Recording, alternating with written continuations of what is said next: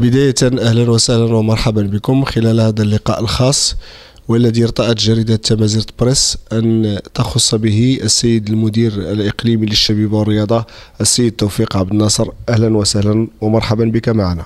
تنشكركم مرة أخرى على الاستضافة ديالي آه، وتنشكر آه، جريدة تمازيرت بريس على الدور اللي تتقوم به في بلورات مختلف الأنشطة والبرامج اللي تقوم فيها تقوم بها المؤسسات هنا بإقليم تالولانت بدورنا آه، سيد المندوب نشكرك على قبول الدعوة ومن أجل فتح نقاش هذا اللقاء آه، الإعلامي معكم آه، نطرح سؤال ما هو تقييمكم للنشاط الرياضي والجمعوي بشكل عام بإقليم تالودانت باش نجاوب على هذا السؤال غادي نجاوب في إطار الاختصاصات ديال المديرية الإقليمية لوزارة الشباب والرياضة. ونقول باللي النشاط الرياضي بالإقليم هو نشاط جيد. عندنا واحد المجموعة ديال الجمعيات والفرق الرياضية اللي تتنهض بأنشطة وبرامج. وعندنا أنشطة متنوعة. عندنا مثلا كرة القدم عندنا ألعاب القوى عندنا كرة السلة كرة اليد الهوكي عندنا التنس عندنا الرياضة النسوية.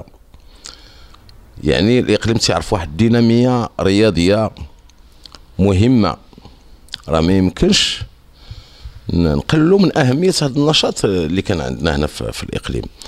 والجمعيات اللي تشتغل في الرياضة في الإقليم هي جمعيات راه واقفة واقفة مزيان. لأن حتى جمعية ما أعلنت الاعتذار مثلا في المشاركه في البطولة حتى جمعية ما وقفت الأنشطة ديالها. مختلف الفضاءات ديالنا إحنا دور الشباب والمركبات السوسيو رياضية والملاعب ديالنا دائما دائما ناشطة. آه، الجمعيات مشاركة في البطولة وتتقوم بمجهود. يعني نقدر نقول باللي النشاط الرياضي في الإقليم جيد. لا جيد. واخا بعض الناس مثلا تيشكي تيقول راه عنده صعوبات وعنده إكراهات ولكن هذا طبيعي. الشيء راه تدخل في في الإكراهات ديال السير ديال ديال ديال الرياضة. لأن الرياضة آه تتبغي واحد مجموعة ديال الإمكانيات لوجستية مادية. يعني ولكن بشكل عام نقول بأن النشاط الرياضي في الإقليم هو جيد. في بخصوص العمل الجمعوي الثقافي والفني حتى هو جيد.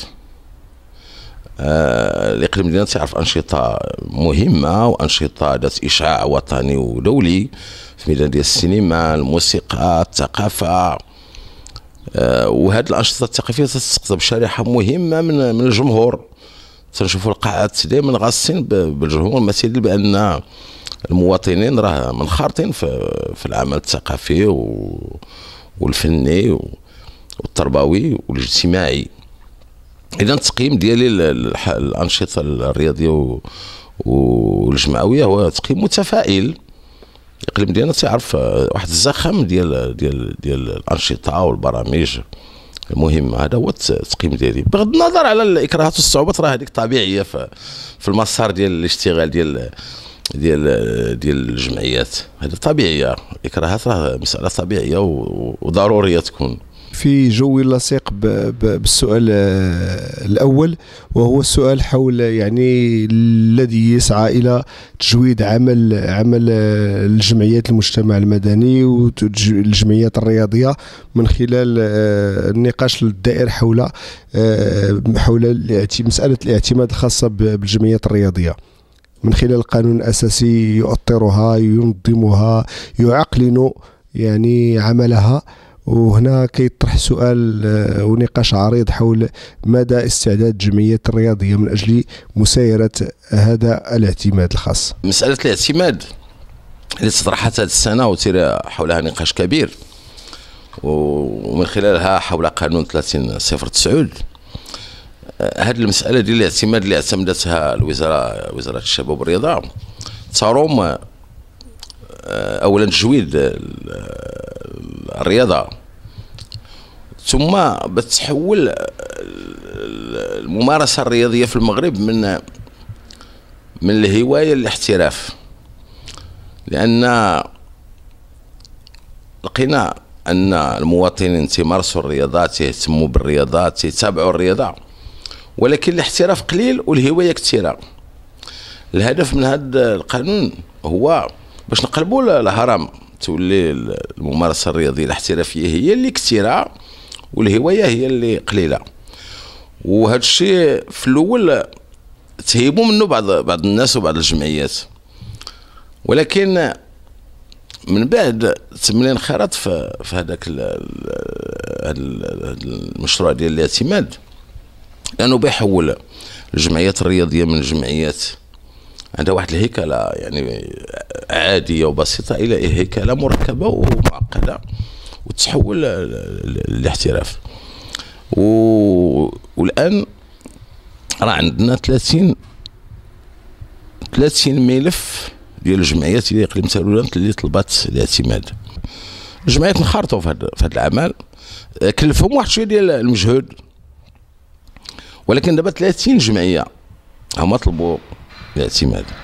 إلى جاب الله إحنا دابا في بداية 2020 توصلنا بواحد 20 أو 30 طلب. غنولوا في 60 جمعية. ولا زدنا واحد شوية وطلبات واحد 20 جمعية الاعتماد. غنولوا في 80 بمعنى هذا رقم مهم. الجمعيات تنخرطوا بكل سلاسة في هذا في هذا الموضوع ديال الاعتماد. لأنه بنا نلقاو راسنا أمام جمعيات معتمدة عندها نشاط رياضي واحد أو جوج. وتبدا تتحول من هذيك البنية البسيطة للبنية المعقدة المركبة. هذا هو الهدف ديالنا حنا. باش ملي واحد يكون تيدير كرة السلة ولا كرة القدم ولا تيدير الكاراتي ولا التيكواندو ولا أي رياضة أنا غير عطيت غير أمثلة. ماشي غادي يبقى غير يمارسها هكا بشكل عادي. خاصنا من هنا عام عامين أو ثلاث سنين نشوفوا يعني عنده أبطال محترفين. هذا هو الهدف ديال ديال ديال ديال الاعتماد. إذا الجمعيات ديالنا منخرطين فيه حنا مواكبينهم بكل سلاسة وبكل. والعملية غادية في اتجاه في اتجاه الصحيح ومن شأن هذا القانون ديال الاعتماد هو إعادة هيكلة الجمعيات. والفرق والممارسة الرياضية في المغرب باش تحول من الهواية للاحتراف. وتولي عندها نوليو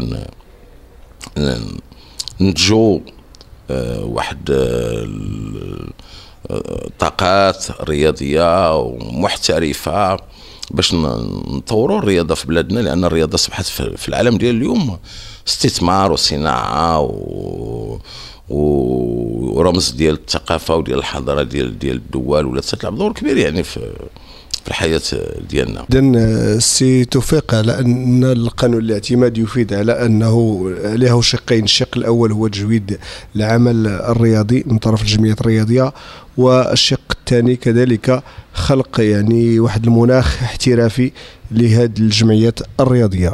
السؤال آه، الثالث يتمحور حول ما هو دور آه، المديرية في مساهمتها من أجل توفير الدعم والتكوين اللازمين لجمعيات المجتمع المدني. أول حاجة تنهضروا على العمل الجمعوي ولا الممارسه الرياضية. أول حاجة تتبادر للذهن وتتفرض نفسها بإلحاح. هو القضية ديال التكوين. التكوين ضروري لأي ممارسة جمعوية لأن ملي تنكونوا الأطر والنخب ديال الجمعيات تنجودوا العمل وتولي أقوى وتولي عنده وقع كبير وأثر كبير على المجتمع.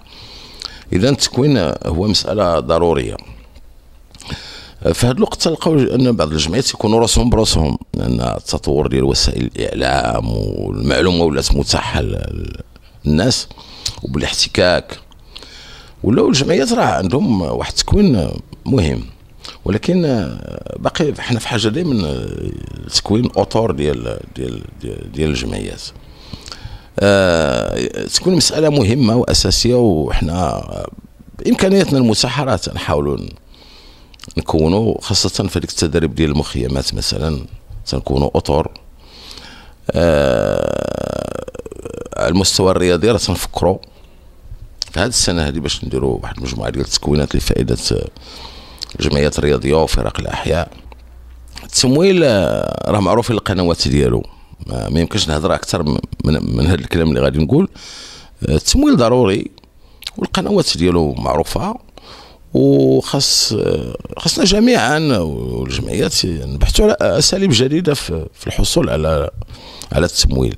لأنه كل ما أرتفع مستوى التكوين ديال الجمعيات كل ما تولي عندهم الولوج إلى إلى إلى إلى, إلى, الدعم.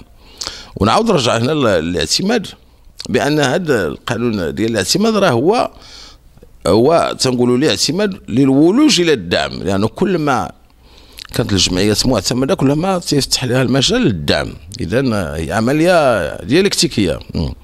اذا التمويل والتكوين هما عنصرا اساسيا في اي ممارسه جمعوية وخاصنا نعتكفوا عليها ونشوفوا الطرق الكفيله بالتكوين ديال الجمعيات ونوعوا مصادر ديال ديال ديال التمويل والبحث على أساليب جديدة في التمويل. شكرا السيد المندوب مجددا يجرنا هذا النقاش حول الحصيلة حصيلة الإنجازات المحققة على صعيد الشباب والرياضة بإقليم تيرودانت.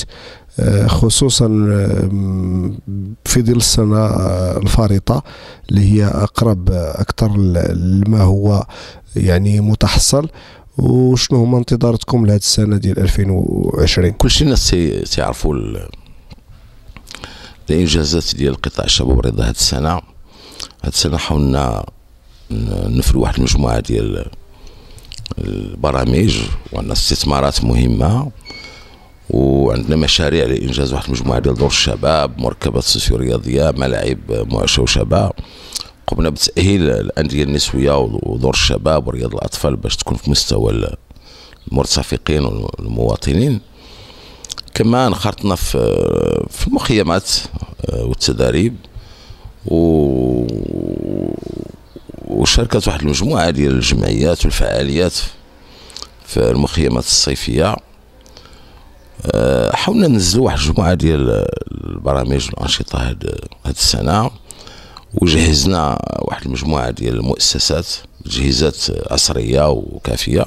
كان عندنا كانت عندنا واحد المجموعة ديال الأعمال والإنجازات حنا ما يمكنش نقولوا راه وصلنا لواحد المستوى كبير كاع مثالي ولكن حتى نحاولوا باش هذا القطاع ديال الشباب الرياضي يلعب الدور المنوط به في, في الإقليم وراه كلشي الناس يلاحظوا هذا الشيء وتيشوفوه.